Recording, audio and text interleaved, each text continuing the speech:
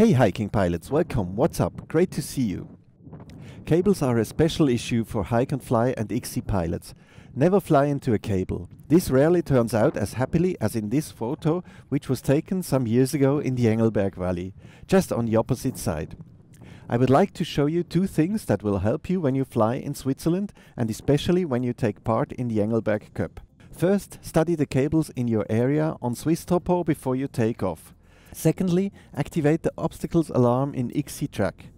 At the end, I will demonstrate how the alarm sounds when you fly towards a cable. Similar alarms are apparently also available for Oudie, Skytraxx, XC Tracer Max devices and the Android app XCSoar and possibly the app FlySkyHy for iPhone, but I haven't tried these myself.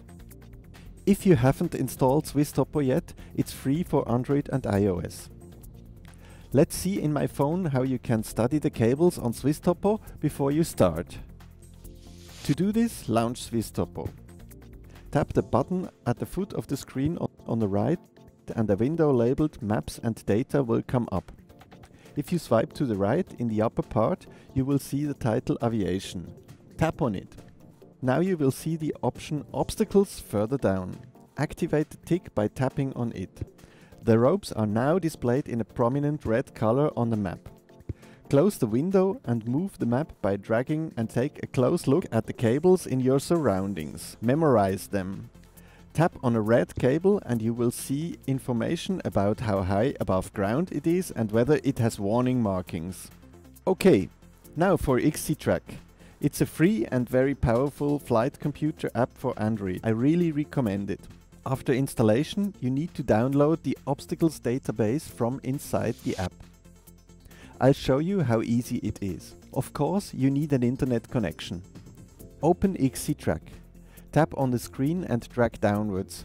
A menu ribbon appears on the top. Tap on Preferences and then on Airspaces. You will now see many countries to choose. Scroll down until you reach Switzerland. For Switzerland, there are two databases, Switzerland and Switzerland Obstacles. The first is the normal airspace database, airports, heliports and so on. This is important of course, but I will leave that aside for now. Select Switzerland Obstacles and then tap on refresh at the button. Now your phone will download the data. Tap the back button twice and you are back on your map. Now you should see the cables marked in pink. If not, you may need to customize the XC map widget. Under Map Configuration, make sure that Display Airspaces is ticked. Now let's see it in real life. Before takeoff, I had started the app and made sure that the GPS position was detected correctly.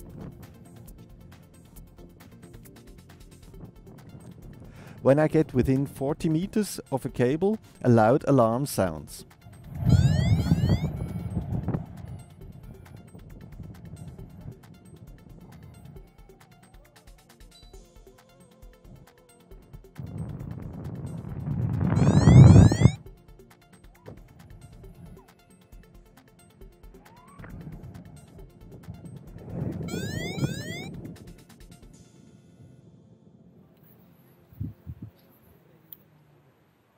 One more thing.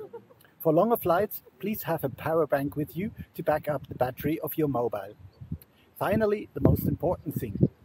Please never forget that technology can also fail. Don't rely on it alone. When flying near the slopes, you should always be extra alert for cables, especially when you are low. Please also take off any sunglasses you may be wearing. Please also note the additional information in the description below. That's it for now. I hope you found this video useful. If so, consider hitting the like button and subscribe to the channel. Stay safe and see you soon.